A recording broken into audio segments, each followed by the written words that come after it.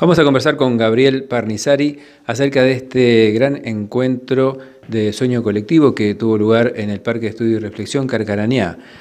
Eh, bueno, fue multitudinario, Gabriel, como primer observación.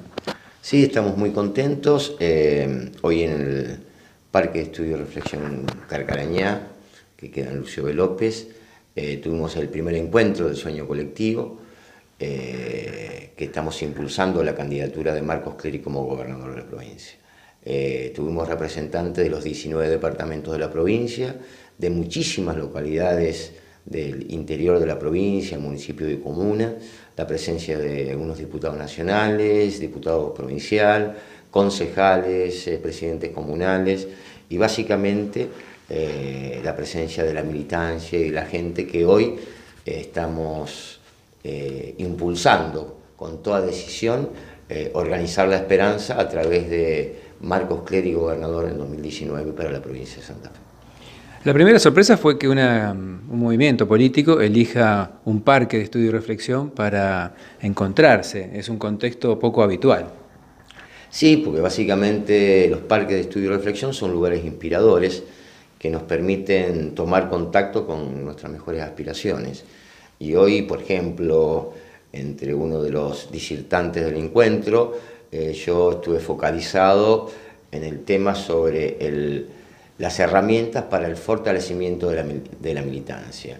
Y hoy creemos que es más que nunca muy necesario no solamente llegar a los territorios con políticas sociales, con trabajo militante, sino también llegar a los territorios con herramientas que puedan fortalecernos por dentro, con herramientas que den sentidos a, sentido a la búsqueda del sentido de la vida.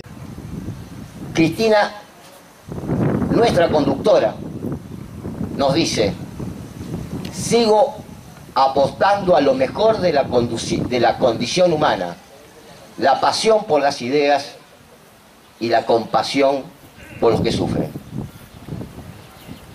Introduce claramente, al introducir la palabra compasión, que la militancia también es una militancia cardíaca, es una militancia del sentimiento. Nuestra militancia tiene que encarnar una mística social y nuestros militantes deben sentirse acompañados con herramientas que le permitan cada día estar mejor. Y que necesitamos es de esas herramientas para fortalecernos por dentro, para ser más eficaces en esa transformación social tan necesaria. Hubo otros em, disertantes, especialistas en sus temas, que, bueno, eh, fueron, fue estupendo escucharlos.